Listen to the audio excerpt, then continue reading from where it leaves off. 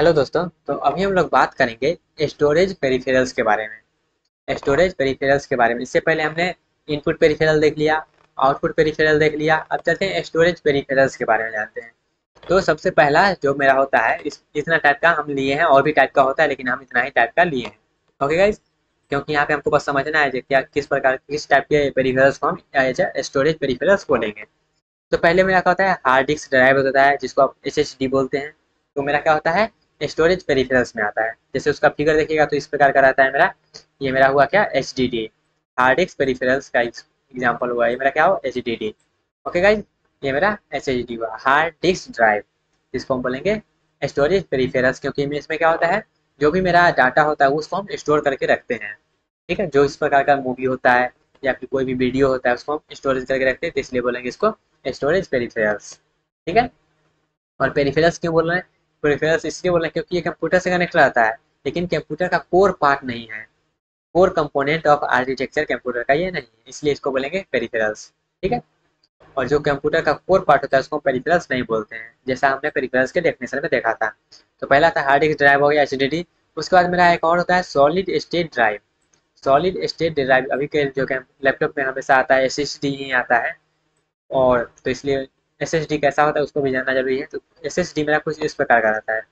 इस प्रकार का बॉक्स रहता है और बॉक्स में मेरा ये जो भी छोटा छोटा है, ये बॉक्स के अंदर में रहता है। ठीक है? तो इसको हम बोलेंगे क्या? इसको बोलते हैं S S D solid state drive ठीक है? ये मेरा ज़्यादा फास्ट होता है। ये एस एस डी है, इससे ज़्यादा फास्ट मेरा होता है S S D okay guys इससे ज़्यादा फास्ट होता है मेरा S S D H S D से ज़्यादा फास्ट होता है मेरा एस एस डी ओके उसके बाद मेरा होता है यू एस बी ड्राइव तो यूएसबी ड्राइव कैसा होता है? आप जो पेन ड्राइव लगाते हैं ना, उसको ही बोलते हैं यूएसबी ड्राइव तो यहाँ पे कोना में दिख रहा होगा, लेकिन यहाँ पे मेरा शकल से नहीं दिख रहा होगा। तो ये जब आपको पीपीटी पीडीएफ शेयर किया जाएगा तो आप देख लीजिएगा। वही पेन ड्राइव जैसे पेन ड्राइव ही होता है, उसको ही बोलते हैं यूएसबी ड्राइव ओके उसके बाद मेरा सी डी आई डी आप तो जानते ही होंगे डीवीडी आप जानते ही होंगे। पहले मेरा सी डी डी होता है गोल गोल जो कैसेट जैसा रहता था वो, इस प्रकार का रहता है। ये मेरा क्या हुआ? यहाँ पे देख सकते हैं, इसमें भी स्टोर करके हम रखते हैं मूवी वगैरह जो भी रहता है, उसको स्टोर किया रखा जाता है। और ये भी यहाँ पे कंप्यूटर से कनेक्ट है, देख सकते हैं। ओके तो ये भी मेरा क्या हुआ? स्टोरेज पेरिफेरल्स का एग्ज़ाम्पल हुआ। सी डी भी देख लिए डीवीडी भी देख लिए। ओके अब टेप ड्राइव अब टेप ड्राइव आप देखते होंगे, अगर आप इसको देखे ही होंगे, पहले क्या होता था? पहले गाना इसी से बजता था। टेप में गाना ये लगा देते थे टेप और इसको गाना बजाते थे। और ये जो रील है ना इसके इसके अंदर में जो रील रहता है, ये काला काला धागा रहता है इसी से मेरा क्या होता है, वो गाना बजता है, ठीक है? तो ये जो रील होता है, इसी में हम स्टोर करके रखते हैं इसको। ड्राइव ड्राइव में इसी में स्टोर करके रखा जाता है, ठीक है? बचपन में इसको फोर फोर के इसमें से निकालता था, वो जो काला वाला रील रहता है उसको। ओके गैस तो इसको बोलेंगे क्या? ड्राइव ड्राइव बोलेंगे।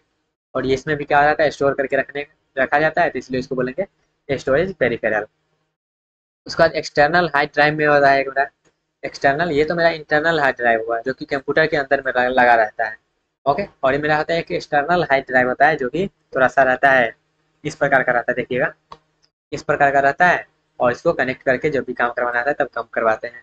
ओके तो इस प्रकार का मेरा रहता है external H H D okay उसके बाद मेरा का एक network attach storage N S S जो कि आप जनरली क्लाउड व्लाउड में जो गूगल वूगल में स्टोर कर देते होंगे, उसको। यहाँ पे देखिएगा, इस प्रकार का मेरा सेटअप रहता है, ये मेरा N S N A S हुआ नेटवर्क अटैच स्टोरेज नेटवर्क से जो भी स्टोरेज रहता है उसको हम बोलेंगे क्या? नेटवर्क स्टोरेज जैसे आप जनरली जी में देखते होंगे, पंद्रह जीबी का स्टोरेज रहता है तो उसी टाइप का होता है, ठीक है? गूगल फ़ोटोज़ में देखिएगा तो उसमें भी पंद्रह जीबी का रहता है, ठीक है? एक जी पे मेरा पंद्रह जी स्टोरेज रहता है, ठीक है? और जैसे यहाँ पे फेसबुक फेसबुक पे आप कोई पोस्ट डालते होंगे तो पोस्ट भी क्या होता है? स्टोर रहता है तो वो मेरा क्या हुआ? नेटवर्क पे स्टोर रहता है वो सब, ठीक है? तो इसको बोलेंगे क्या? वो भी मेरा स्टोरेज है स्टोर कर रहा है तो उसको बोलेंगे हम स्टोरेज पेरिफेरल ठीक है? इतना चीज़ क्लियर हुआ। स्टोरेज के बारे में तो गाइस मिलते हैं नेक्स्ट पार्ट में।